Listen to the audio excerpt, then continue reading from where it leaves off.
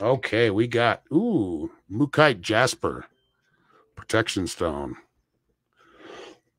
but let's see what the Mookaite is asking here.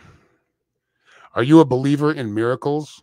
Are you ready to ex- access and know all that is known? I'm telling you, there's a there's some big awakenings coming, guys. Like for all of us. Accept it. Just let it flow. Open your heart to the experience to experience grace. Offer blessings to everyone with whom you interact.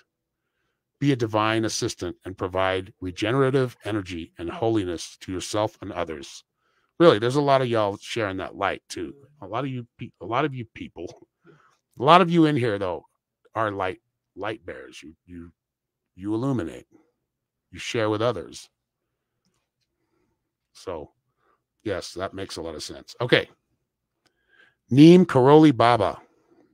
That's our saint or probably our mystic, master or mystic. Yeah. Uh, with increasing love, miracles manifest all around me. I share unconditional love through service to others. I believe in the power of love.